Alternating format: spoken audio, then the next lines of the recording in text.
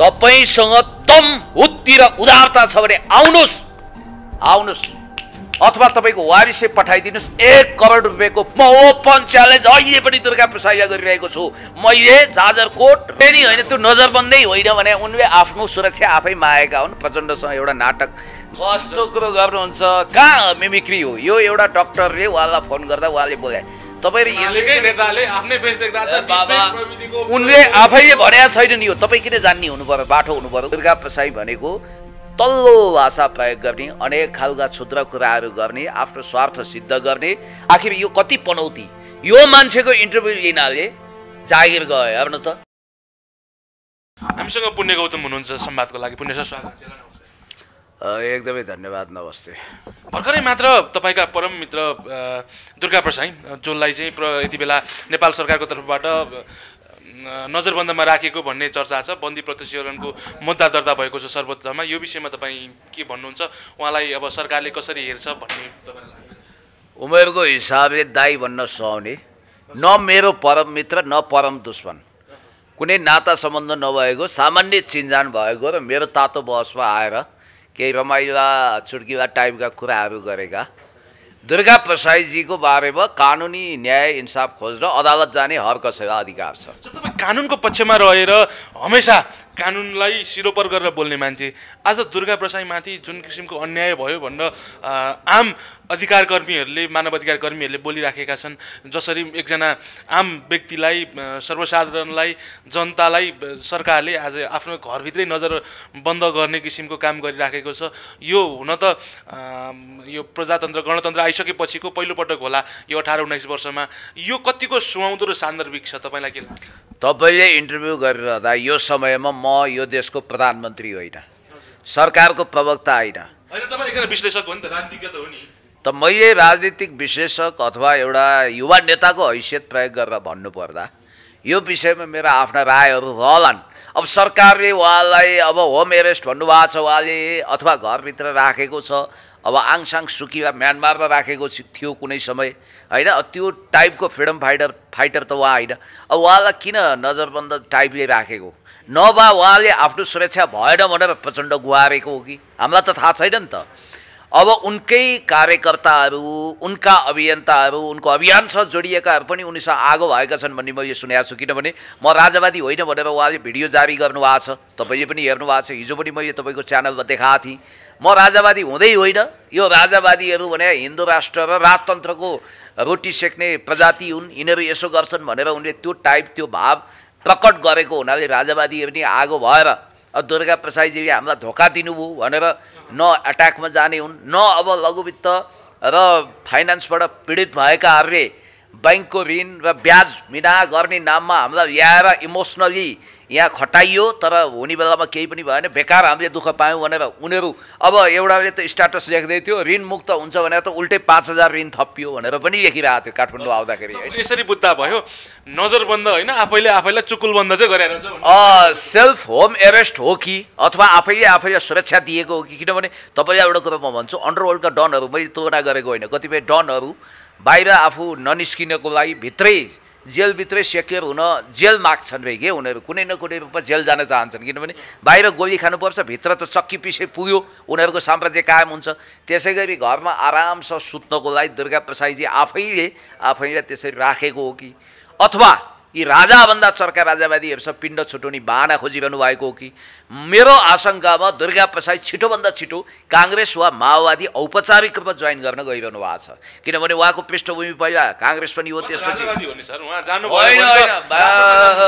कहाँको राजावादी हुन्थ्यो यार तपाईँ कहाँ भ्रममा हुनुहुन्छ फेरि भिडियो देखाइदिनु पऱ्यो नयाँ साथीहरू त हुनुहुन्छ उहाँहरूले हेर्दा हुन्छ Durga Prasai ji he seems to be anarchist person is neither democrat nor royalist I think is just provocateur agent of international power centre I think so अब मैले तपाईँलाई भिडियो नै देखाउनु पर्ने हो किनभने उहाँ आफैले म राजावादी होइन भनेर अस्ति भर्खर भनेको कुरा भिडियोमा छर्रङ्ग क्रिस्टल क्लियर पिक्चरसहित आएको छ।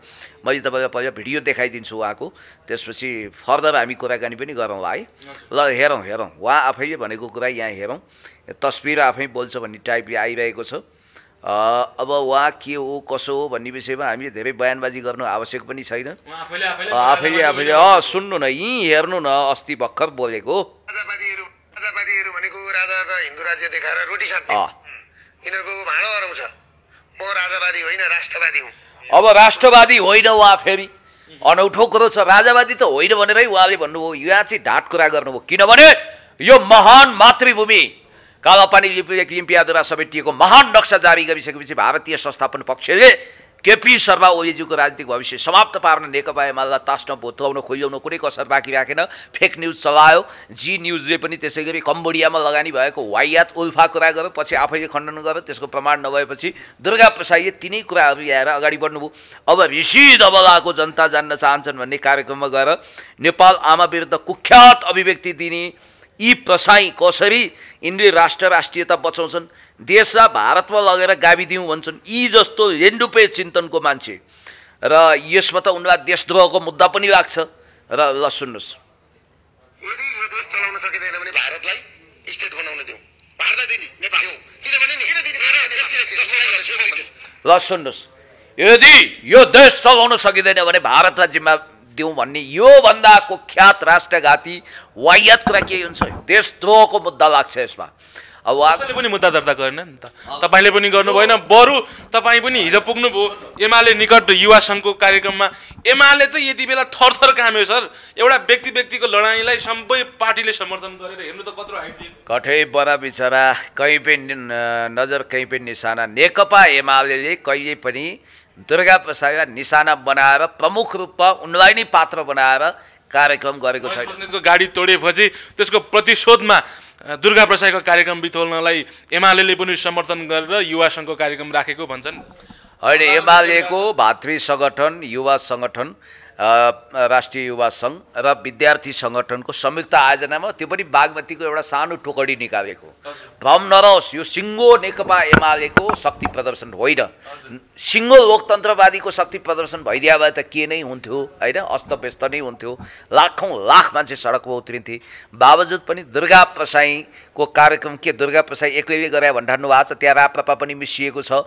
त्यहाँ देशी विदेशी प्रतिक्रियावादीहरू भारतीय पक्ष पनि नाङ्गा बाबाहरू पनि ल्याउँछु भनेको थियो। जोगीहरू विभिन्न नाना नौरङका मान्छेहरू छिर्के मिर्के मान्छेहरू ल्याएर त्यत्रो त्यहाँ पङ्क्ति बटुलिएको छ त्यो धेरै शिला खोजेर ल्याइएको हो। उनीहरूले ढुवारनदेखिको बल लगाउँदा पनि म त प्रश्न भनिदिन्छु युवा सङ्घको कार्यक्रममा दस हजार थिए दुर्गा प्रसाईको पनि दस हजार मात्रै हो। त्योभन्दा बढी त थिएन। मिटर नाप्नुहुन्छ। होइन तपाईँहरूले आकलन गर्न सक्नुहुन्न। खुल्ला मञ्चको कुल क्षमता भनेको पच्चिस हजार हो। जनता कमरेड मदन भण्डारी जम्मा हुँदा पनि त्यहाँ जम्मा पच्चिस हजार। ए बिस हजार मान्छे भने यति हुन्छ। नेपालको इतिहासमा सबभन्दा बढी मास उर्रिएको भनेको दोस्रो जनआन्दोलनमा त्यतिखेर लाखौँ आए। दोस्रो मास उर्रिएको भनेको माओवादी शान्ति प्रक्रियामा आएपछि प्रचण्डले सम्बोधन गर्नुहुन्छ भनेपछि यहाँनिर खुल्ला मञ्चमा मास उत्रिएको। त्यो मास यताबाट टनक्कै भएर सैनिक मञ्च हुँदै त्यहाँ पनि टनाटन रत्त पार्कमा पनि टनाटन यता बागबजार हुँदै मैती देवीसम्म पुगेको बिसवटा लाउड स्पिकर राखेको बिचबिचमा यहाँनिर बाइतीघर मण्डलासम्म। त्यति गर्दा पनि त्यतिखेर सुरक्षा निकाले निकालेको रिपोर्ट के थाहा छ? जम्मा मास दुई लाख छ भन्थे। दुई लाख यति धेरै भरिँदा पनि तिलको गेडो राख्ने ठाउँ। दुर्गा प्रसाईको त्यो उसले एक लाख असी हजार दुई लाख भने पनि जम्मा दस हजार हो, दस हजार युवा सङ्घको पनि दस हजारभन्दा बढी छैन। म प्रष्टै भनिदिन्छु यो अधिमूल्याङ्कन गर्ने हो भने युवा सङ्घको एक डेढ लाख उसको पनि एक डेढ लाख भन्न सकिन्छ त्यस्ता फन्टुस कुरा गर्नु हुँदैन। ए दस हजार तपाईँ हामी यहाँ स्क्वायर हेर्नु त यति हामी पाँच सातजना मान्छेले कति ढाकेका छौँ? कस्तो कुरा गर्नुहुन्छ तपाईँ? मान्छे भनेको त सयजना भयो भने चौर भरिन्छ भने। सयजनाले के कुरा गर्नुहुन्छ तपाईँ? दुई सयजना भयो भने एउटा ठुलै प्राङ्गण भरिन्छ। त्यसकारण तपाईँ कुर्सी राखेर बस्नुहोस् हेड काउन्ट गर्नुहोस्। यो हल छ नि यो। कति स्क्वायर फिटको छ कति मिटरको छ। यो हलमा दुई सयजनाभन्दा बढी अट्दैन तर हेर्नु त कति ठुलो छ। ठुलो छ नि यहाँ। त्यस कारणले गर्दाखेरि मैले तपाईँलाई भन्न खोजेको कुरा के भने त्यहाँनिर दस हजार मान्छे थिए। अब दुर्गा प्रसाईहरूका कुरा सुन्दा त पाँच लाख रे दस लाख रे यो फन्टुस कुरा छोड्नुहोस्। भारतमा मोदीले आयोजना गरेको सबभन्दा ठुलो आमसभामा आजसम्म सबभन्दा ठुलो भिड भनेको दुई लाखको हो। र नेपालको इतिहासको सबभन्दा ठुलो भिड भनेको गढीबाईको मेलामा हो। त्यो त्यहाँ दुई अढाई लाख मान्छे जम्मा हुन्छन्। त्यसैले मक्का मदिनामा सबभन्दा बढी भिड हुन्छ अरे। त्यहाँ पन्ध्र बिस लाख हुन्छन्। त्यत्रो विश्वभरिबाट मान्छे जाँदा भन्दा यस्ता वाहियात हावादारी कुरा गरेर हुँदैन। जहाँसम्म नेकपा एमाले अब कर्कललाई बन्चर लगाउँदैन। सत्ताबाट पालित पोषित र विभिन्न रहस्यमय शक्ति केन्द्रबाट परिचालित भएका दुर्गा प्रसाईको विषयमा। यो हाइट दिने पनि त एमाले नै हो नि एउटा एउटा कुरा म तपाईँलाई भन्छु। यत्रो के को अन्याय के को स्पेस एउटा कुरो म तपाईँलाई भन्छु। दुर्गा प्रसाईका कर्म कुकर्महरू कम कुख्यात छन्। तपाईँलाई थाहा छ? यो देश चलाउन सकिँदैन भने भारतलाई जिम्मा लगाइदिउँ बेचिदिउँ भन्ने यो जस्तो राष्ट्रघाती चिन्तन केही हुन्छ। अर्को कुरो दस करोडको जग्गा देखाएर आज नागरिक न्युजमा पनि आएको छ सबैतिर। आठ करोडको देखाएर एक अर्ब अठासी करोड ऋण लिएको होइन। जनताको निक्षेप डुबेन त्यहाँ। डिपोजिट कसको कारण? हुनेको कारणले हो। अनि अर्को कुरो म तपाईँलाई भन्छु उनले नयाँ शैली डट कममा स्पष्ट रूपमा खेताला लगाएर आठ कक्षाको परीक्षा दिएको भनेका छन्। नक्कली परीक्षार्थी प्रयोग गरेर परीक्षा दिनु भनेको त्यो ठुलो ढाँट छल हो उनी आफैले भाषण गरेका छन्। अब घरि उनले के भन्छन् घरि के भन्छन् त्यस कारणले गर्दाखेरि ढाँटको निम्तो खाइपत्याउनु अब सी जिनपिङ र पुटिनसँग मेरो राम्रो सम्बन्ध छ भन्छन् कहिले कहिले एक रात अगाडि सुत्नुहोस् भोलिपल्ट बेउजिँदा ऋण हुँदैन भन्छन्। यिनका कुरा गरी साध्य छैन। हु इज दुर्गा प्रसाद यार? हु इज हि चार दिनका चाँदनी फिर अँधेरा तुफान सरा आउँछन् आधी सरा जान्छन्। यिनको विषयमा धेरै कुरा नगरौँ। मैले त यिनले गरेका बकवासपूर्ण कुरा सुन्दा कतै जयकिशन बस्नेतको धुम फाइभ वा सिक्समा यिनलाई कलाकार त लिन खोजेका छैनन् भन्ने पनि लागेको थियो मलाई। त्यस कारणले गर्दाखेरि जहाँसम्म महेश बस्नेतजीसँग उनको तुलना हुन्छ महेश बस्नेतजीसँग तपाईँ असहमत हुन सक्नुहुन्छ तर उही भल्तीहरूले भने जस्तो म तपाईँसँग असहमत हुन सक्छु तर तपाईँको वैचारिक स्वतन्त्रताको निम्ति अन्तिमसम्म लड्छु भनेर फ्रान्सेली विश्वप्रसिद्ध दार्शनिक लेखक भल्तीहरूले भने जस्तै महेशजीसँग तपाईँ असहमत हुन सक्नुहुन्छ। चौन्न सालमा गाविस अध्यक्ष भएको गुन्डुको गाविस अध्यक्ष भएको राजनीतिक इतिहास बोकेको एउटा सुरवीर मान्छे हो महेश बस्नेतजी उहाँको व्यक्तिगत चरित्रमाथि दुर्गा प्रसाईले जसरी हिलो छापेका छन् उनले भनेका छन् त्यो चेलीलाई बोलाएर खुरुक्क अब बिहाबारी गराइदिनु बालकोट बोलाएर यस्ता घटिया कुरा उनी गर्छन्। उनका पनि फिल्म आयो नि त। उहाँ दुबईबाट एउटा लौरो आएछ त्यहाँको एउटा अन्सारी भन्नेले जलप लगाएको लौरो पठाइदिएछ यहाँ भन्छन् राजकुमारले पठायो। मसँग आएर उनले मसँग त दुबईको राजकुमारले दिएको पैँतिस चालिस लाखको चस्मा छ भनेर तातो बसमा भनेका छन्। भिडियो गएर स्पेस फोरके टेलिभिजनमा हेर्न सक्नुहुन्छ। मैले गुगल सर्च गरेर हेरेको विज्ञ विशेषज्ञ चस्मा विज्ञहरूलाई सोधेको। के भन्छन् संसारको सबभन्दा महँगो चस्मा गुगल सर्च गर्दा पनि के देखिन्छ भने ब्राड पिट र टम क्रुजले लगाउँछन् सात आठ लाखको त्योभन्दा बढी छैन। अब हेर्नु त हावादारी गफ हुँदा हुँदा यिनले भोलि के भन्दिन बेर आउँदैनन् भने नि अमेरिकी राष्ट्रपति जोय बाइडेनले फोन गर्नुभएको थियो।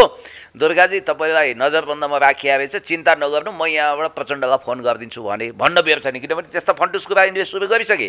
तपाईँलाई एउटा कुरा भनौँ अस्ति एउटा इन्टरभ्यू दिएर छन्। मोदीले मेरो टेलिफोनमा कुरा गरेर अनि प्रचण्डलाई फोन दिनु भने भनेर भनेका छन् उनले। यो कुरा त उनले सुरु गरिसके होइन? अब यहाँ हेर्नुहोस् उनका भाषा कस्तो? त्यस्तै कुराले पनि त एमाले त डराइरहेछ। नेपालको सरकार डराइरहेछ गणतन्त्र एउटा एउटा कुरो एमाले तर्सिएको डराएको केही पनि होइन। यो प्रवृत्ति अति नै दिगदारी भयो। यसलाई एकचोटि सबक सिकाउनु पर्छ भनेर कसैलाई लाग्छ भने त्यो अन्यथा मान्नु हुँदैन। कार्यक्रमको अन्तमा छौँ। अब यहाँ सुन्नु न उनको भाषा कति मिठो छ यहाँ सुन्नु त। अनि तपाईँ चाहिँ को हो त। भन्नुहोस् न त आउनुहोस् न पढौँ कहाँ पढ्नु पर्ने बसेर पढौँ न। बसेर पढौँ न। तपाईँ चाहिँ को तपाईँ चाहिँ को? एउटा प्राइभेट मेडिकल कलेज चलाएर तपाईँले आफूलाई चाहिँ के सम्झिनुहुन्छ?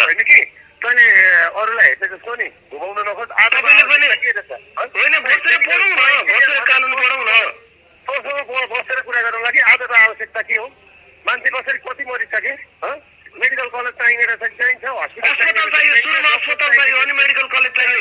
दुई लाख रुपियाँ डिपोजिट बिएनसीमा दुई लाख रुपियाँ डिपोजिट नगरी मान्छेको उपचार हुँदैन देखिरहेको न्युज पढिरहेको छ तेरो बाउले दिन्छ ब्याङ्कको ब्याज तेरो आमाले दिन्छ अनि मान्छेले चाहिँ कहाँबाट ल्याउँछ नेपाली जनताले चाहिँ कहाँबाट ल्याउँछ तेरो बहिनीले तिर्दिन्छ यहाँ जनताले चाहिँ कहाँबाट ल्याएर तिर्छन् तेरो बाउले तेरो बाउले तँ गर्नु नि यस्तो होइन यो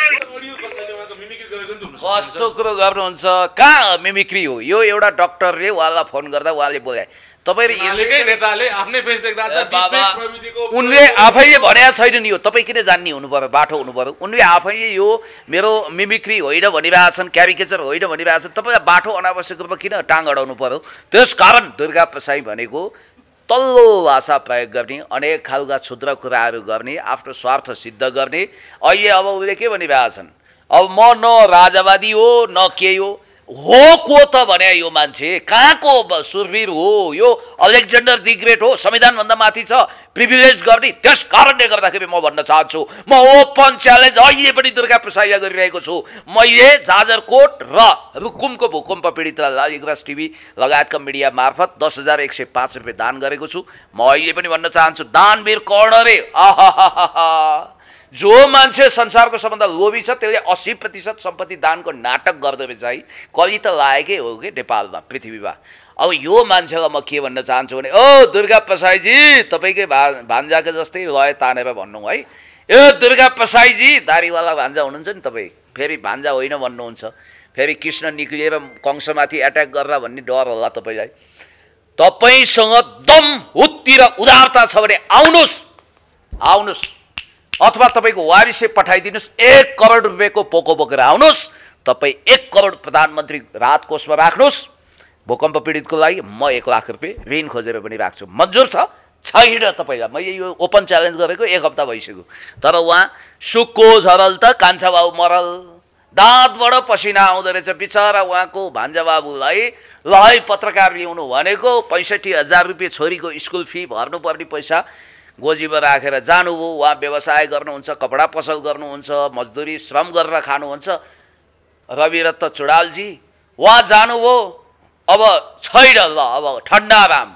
भनेपछि एउटा कुरो म तपाईँलाई के भन्छु भने पहिला नैतिकता छ भने भान्जाबाबुले भनिरहनु भएको छ पैँसठी हजार रुपियाँ पेमेन्ट गर्नु त भान्जाबाबुको अनि ठुला कुरा गर्नु। यो मान्छेले लिने मात्रै हो के?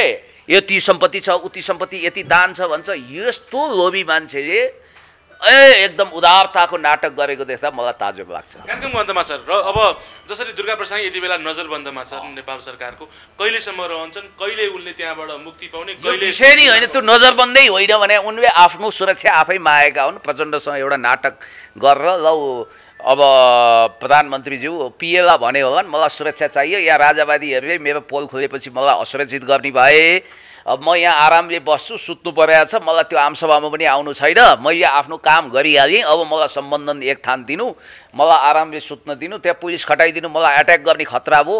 यहाँ महेश बस्नेतजीहरूको फेरि युवा सङ्घको टोली पनि आउला भनेर उनले सायद सुरक्षा मागे होला। त्यो केही नजरबन्द सजरबन्द होइन यो सब नाटक हो।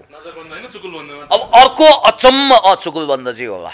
अनि अर्को अचम्मको कुरा चाहिँ के भने नि यस्तै यस्तै किसिमको क्रियाकलापबाट अगाडि आएका मान्छे प्रवृत्ति कहिले बिर्सिँदो रहेछ कि? जसरी रङ्गीन कुवामा डुबेको स्यालले शेरहरूको भिडमा गएपछि राति पनि हुइयाँ काढो नि हुँ हुँ गरेर आउँ आउँ गरेर। त्यसै गरी एकजना सांसद भैटोपलेको मान्छे ल हेर्नु त आफ्नो असली औकातमा आएर दुर्गाको पाउमै परे। भनेपछि मान्छेको हैसियत र औकात के हुँदो रहेछ तपाईँले थाहा पाइहाल्नुभयो? दुर्गा प्रसाईलाई म भन्न चाहन्छु तपाईँ यो सब नाटक छोड्नुहोस्। भूषण दाहालले आफ्नो स्तर गुमाउनुहुन्थ्यो। आमामामा यस्तो एउटा is the pioneer journalist legend म सम्मान गर्थेँ तर सायद वैचारिक आग्रहले हो कि किन हो? आखिर यो कति पनौती? यो मान्छेको इन्टरभ्यू लिनाले जागिर गयो हेर्नु त। भूषण दाहालको।